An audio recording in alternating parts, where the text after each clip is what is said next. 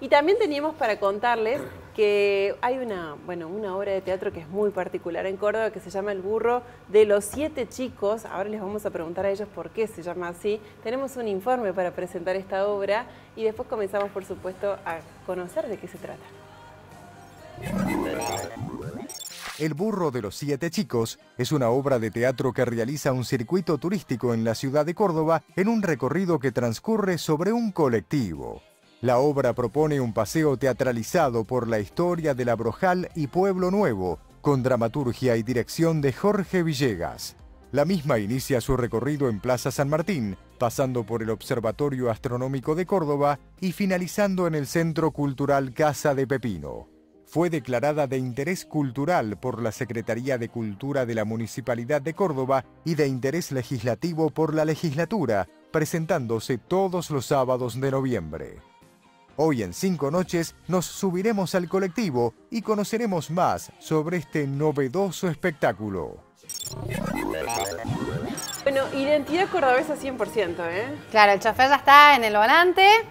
Tenemos al burro de los siete chicos que se sube con la gente porque en realidad es un tour turístico dentro de nuestra ciudad con una obra de teatro arriba que cuentan, digamos, de lugares físicos e imaginarios de Córdoba, Jorge. Así es. Eh, sí, es una obra de teatro en un formato de excursión. Los 30 espectadores que van en el bondi con los actores son tratados como si fuesen turistas que llegan a Córdoba. Hacemos la salida típica de la, de la catedral con una explicación del origen, del tiempo de, construcción que llevó la catedral, que fue la Plaza San Martín cuatro años de su fundación, que fue una plaza para las corridas de toros, a un poco del cabildo y emprendemos un viaje por la calle 27 de abril, dando cuenta también de ciertas cuestiones que tienen que ver, por ejemplo, con que, que eh, ¿Vos te acordás qué ocurrió el 27 de abril? Casi nadie se acuerda. Bueno, hacemos un hincapié como para meter un tema histórico. No me a quedar mal, Jorge. No, no, no, no, no lo sabe nadie.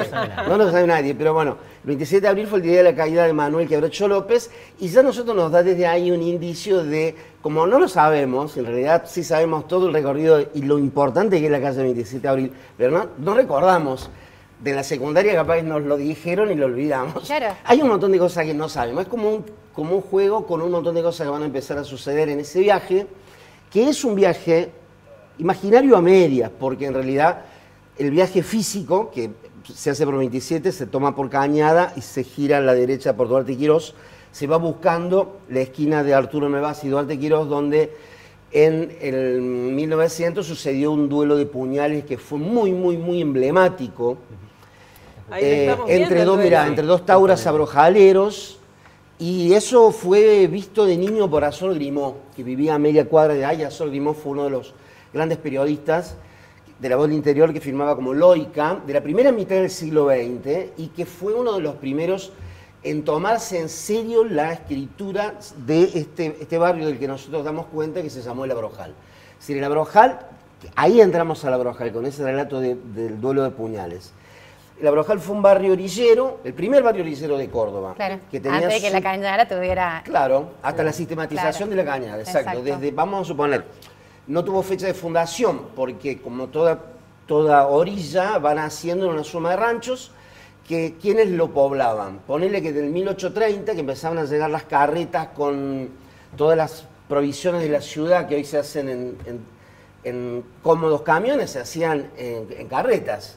Los quesos, la miel, los embutidos, los yuyeros que venían a traer, porque el, digamos una parte del pueblo eh, tenía esa costumbre de creerle más al, vecino que, recogía sus propias sus propios yuyos en, en la sierra, si te los traía hasta la puerta de tu casa, que el farmacéutico, además era más barato.